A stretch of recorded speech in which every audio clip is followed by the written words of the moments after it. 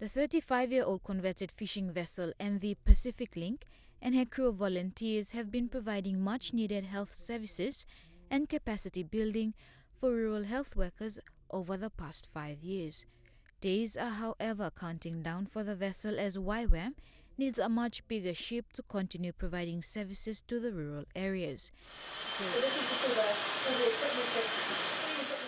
So far, 4 million kina has already been given by the Department of National Planning and Monitoring to purchase the MV Amari, which costs 14.4 million kina. The new vessel will operate as the mothership and will have an operating theatre, dental clinic, outpatient medical and surgical facilities, including lecture rooms. 11.4 million kina still needs to be raised to purchase the ship.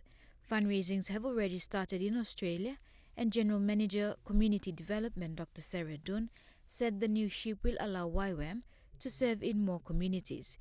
There are 50 volunteers on board from 12 different countries providing dental care, optometry services, and assisting in urban health clinics in the country. Judith Kasek, National, EMTV News.